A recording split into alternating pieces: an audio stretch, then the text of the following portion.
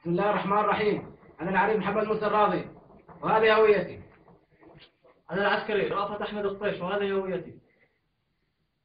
أنا العسكري المجند لا أرفع وهذه هويتي مؤقتا أنا العسكري المجند خالد رداوة أنا العسكري يحيى أحمد الجبر وهذه هويتي.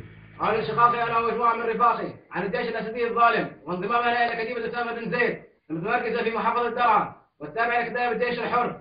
عاشت سوريا حرة أبية ويسقط طاغية بشار الأسد. يسقط يسقط يسقط. تكبير الله أكبر.